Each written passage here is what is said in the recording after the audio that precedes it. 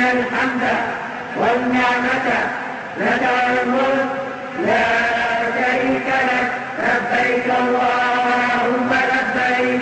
لبيك لا شريك لك. لبيك. إن الحمد والنعمة لك الملك لا شريك لك. Pemirsa kembali lagi di News Pagi, tiga hari menjelang wukuf di Arafah, segala persiapan untuk para jemaah haji Indonesia hampir semua siap digunakan. Menteri Agama Lukman Hakim Saifuddin pun melakukan pengecekan segala perlengkapan jelang wukuf pada 31 Agustus mendatang.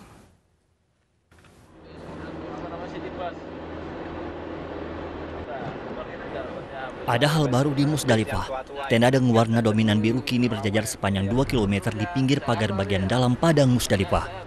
Keberadaan tenda biru dengan lebar 5,5 meter itu siap untuk digunakan oleh para jamaah sebagai ruang berteduh dan istirahat jika belum diberangkatkan ke Mina hingga siang pada tanggal 10 Zulhijjah. Selain tenda biru, di Musdalifah juga akan dilengkapi dengan karpet berwarna biru. Diperkirakan sekitar 70% ruang jemaah calon haji Indonesia di Padang Musdalifah akan tertutup karpet dengan motif bunga dengan dominan warna merah. Alhamdulillah kami sudah cek semuanya tenda-tendanya, dapur eh, yang eh, ada di setiap maktab, lalu juga toilet, kamar mandi dan lain sebagainya. Alhamdulillah persiapannya baik karena misalnya AC-AC yang ada di tenda itu tahun ini baru kondisinya sesuatu yang baru dan lalu juga tadi kami lihat sejumlah lemari pendingin itu juga baru masih dalam kemasan plastik yang baru dan ya alhamdulillah mudah-mudahan tahun ini kenyamanan bagi para jamaah haji Indonesia bisa lebih baik dari tahun-tahun sebelumnya. Mina juga menjadi perhatian khusus Menteri Agama Lukman Hakim Saifuddin karena ini juga merupakan titik krusial jamaah di seluruh dunia. Untuk menghindari hal yang tak diinginkan, sudah ada rabu peringatan berupa lampu tanda untuk jamaah yang akan menuju Jamarot. Diharapkan seluruh jamaah calon haji Indonesia dapat mematuhinya.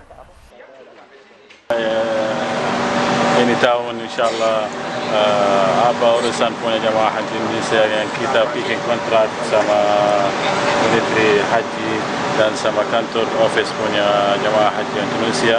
Uh, masalah tenda baru di Arafah atau uh, atau electricity elektrik kita ambil dari dua jalan sekarang dari uh, elektrik dari umum dan dari generator punya punya punya muasasa lebih dari 50 generator punya seluruh maktab Alhamdulillah uh, selesai tempat jemaah haji di Mina uh, ini tahun semua isinya punya jemaah haji di Mina isi yang, ba yang baru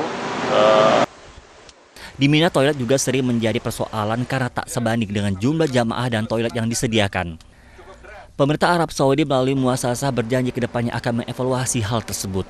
Dari Mekah Arab Saudi, Niko Yustiadi, MNC Media, memberitakan.